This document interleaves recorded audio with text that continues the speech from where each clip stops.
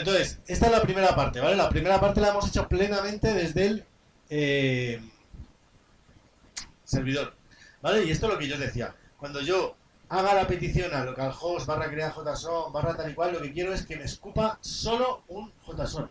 Solo un JSON, ¿vale? Si me voy al código fuente, veo que aquí no hay nada más, ¿vale? No quiero ni HTML ni leches, porque en el momento que hay HTML se ha jodido la cosa.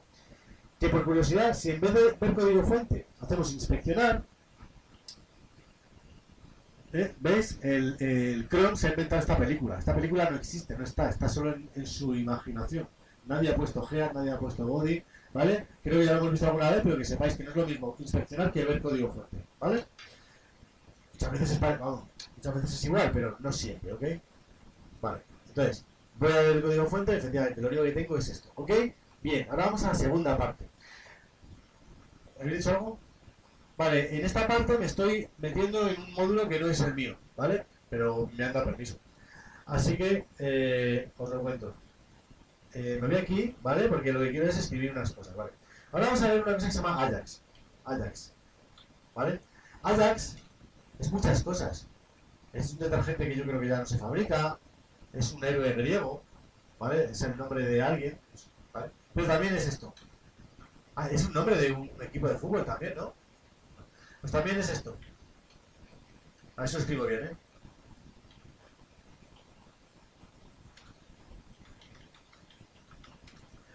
Eh, Vale. Asíncronos Javas- JavaScript and XML. Vale. Si os acordáis, hace un rato cuando se habla de JSON, os he dicho que JSON era JavaScript Simple Object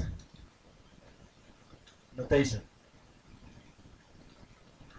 Vale, yo dije, aunque ponga JavaScript, no, es- quiere decir que sea ex- exclusivo de JavaScript. Pues aquí digo lo mismo, aunque en Ajax ponga la X de XML, no es exclusivo de XML, ni mucho menos. ¿Vale? Ajax, así que los JavaScript al XML. Mirad, ¿qué es esto? Cuando yo me voy a Google, ¿Os acordáis? Vosotros habéis estado haciendo formularios conmigo, habéis hecho muchos, ¿verdad? Habéis hecho el de la agenda, el del chat, el de, el de la validación, ¿vale? Supongo que en lenguaje de marcas el año pasado haréis un montón, y al final, hasta que no le dais al, hasta que no le dais al botón de enviar, ahí no pasa nada, ¿vale?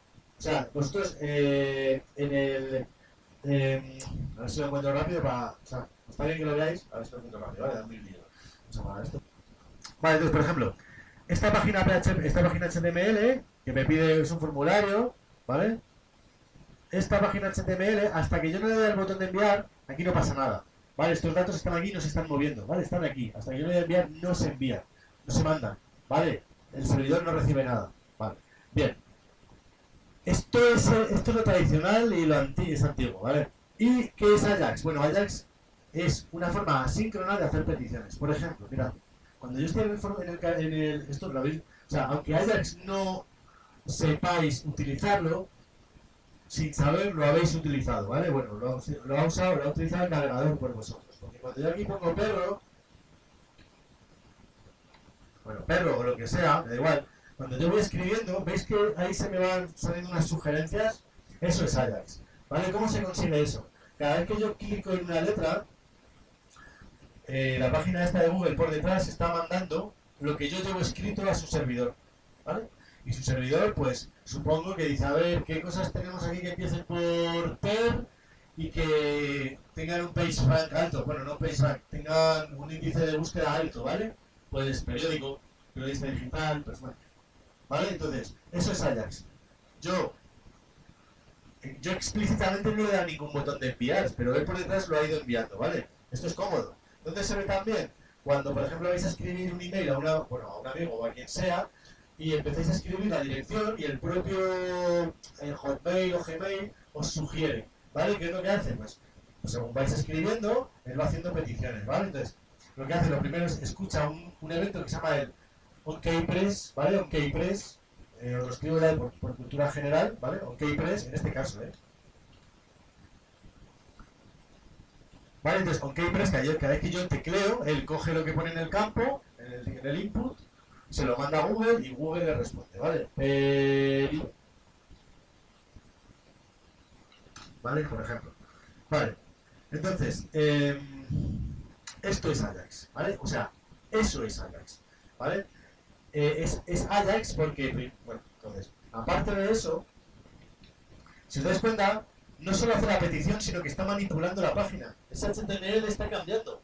¿Lo veis? Porque aquí pone el mundo, el país, el confidencial, y cuando yo pongo otra cosa, va cambiando. Ahí pone otra cosa. O sea, el HTML ha cambiado. No el HTML, sino lo que yo veo ha cambiado, ¿vale? Entonces, Ajax es eh, eso que hace peticiones en segundo, plano, en segundo plano y además manipula y modifica lo que se llama mi DOM. Bueno, mi página.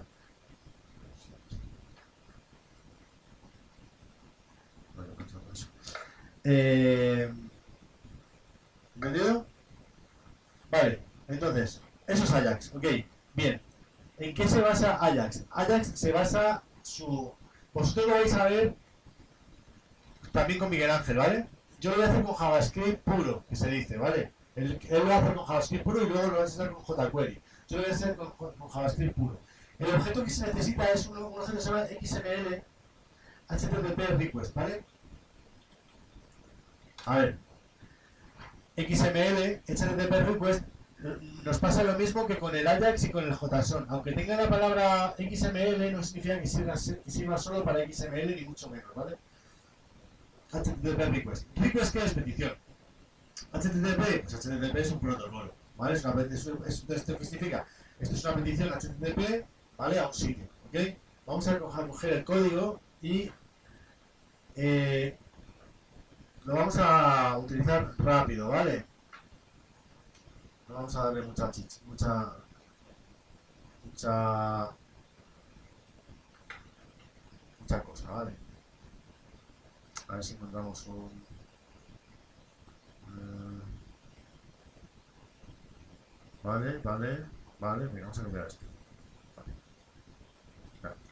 Simplemente voy a copiar este código, ¿vale? Y lo voy a pegar aquí. Os lo voy a, enseñar más o menos. Mirad. XML de request es el objeto que se, que se encarga de hacer la petición, ¿vale? Es el objeto que hace la petición. Le decimos que abra. ¿Que abra el qué? Pues en nuestro caso le vamos a decir que nos abra esto. ¿Vale? El contacto es este. ¿Vale? En este caso le hemos dicho que es por qué. Vale. ¿qué más? Le envía la solicitud a la red. Vale. Entonces, onload, ¿qué significa onload? Cuando... Eh, esto pasa por distintos puntos, ¿vale? Es decir, eh, hay como distintas fases. Se crea el objeto, se envía el objeto, se empiezan a recibir datos, se terminan de recibir los datos, ¿vale? Entonces va como por distintas fases. Y el, el es la fase final, ¿vale? Es cuando ya está todo cargado. Vale, cuando está todo cargado, lo que tenemos aquí es... Eh, Dice XHR status. ¿Qué es esto del status? Bueno, esto del status es una un dato que va en las cabeceras HTTP que puede tener distintos valores, ¿vale? Por ejemplo, cuando una página no está encontrada, ¿qué número sale siempre?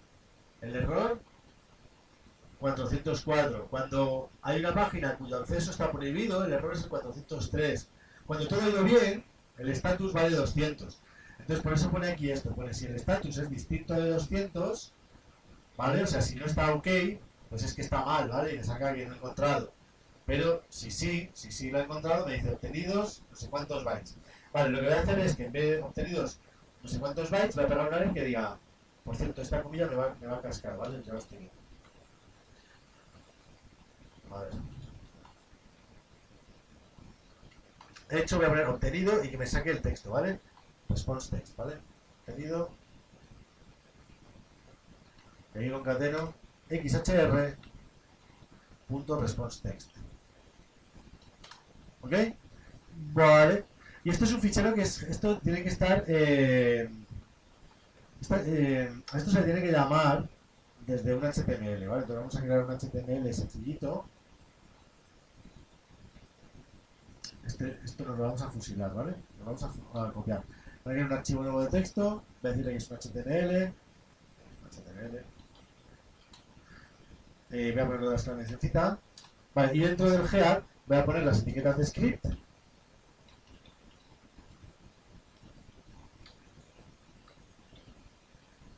Para copiar, para pegar este código, ¿vale? Vale. Entonces, ¿qué es lo que va a pasar? Pues vamos a ver. Cuando yo arranque la página esta, que le voy a llamar eh, vercontactos.html, ¿vale? ¿Qué es lo que va a pasar? Bueno, pues va a venir por aquí, bim bam pum, y entonces cuando vea el script se va a poner a ejecutar, ¿no? Y va a crear un objeto de tipo XML HTTP request, ¿vale? Que es el objeto para hacer peticiones, va a hacer un open, es decir, va, va a solicitar o pedir esta dirección, que esta dirección lo que va a hacer es, si todo va bien, le va a escupir, le va a devolver el JSON, ¿vale? Va a enviar la solicitud, y cuando ya esté la respuesta completa, cuando ya esté la respuesta completa, es decir, cuando esté en el onload de este objeto, ¿vale? Se va a ejecutar una función. Esta función lo que va a tener dentro es una condición. Si el status es 200, es distinto de 200, 200 significa todo ha ido bien, o sea, si algo ha ido mal, pues me va a sacar un error, ¿vale? Y si no, pues me va a sacar hecho, obtenido y me va a sacar la respuesta. ¿Qué va a ser la respuesta? Pues todo bien, va bien. La respuesta va a ser el JSON que le ha escupido el, el PHP. ¿Vale? Lo grabo y voy a ver contactos .html. Vale, y ha ido bien. ¿Vale? Es decir, ha pedido el JSON y se lo ha devuelto aquí. ¿Vale? Y le ha salido por ahí. ¿Entendéis esto? Vale. Ahora, y alguien dirá, pues qué gilipollez, ¿esto para qué sirve tener aquí un Bueno, es verdad, es un gilipollez, pero es la primera parte. Porque la segunda parte es coger este response text, ¿vale? Eh, convertirlo en objeto y mandarlo a alguien que lo vaya pintando manipulando el DOM. ¿Ok?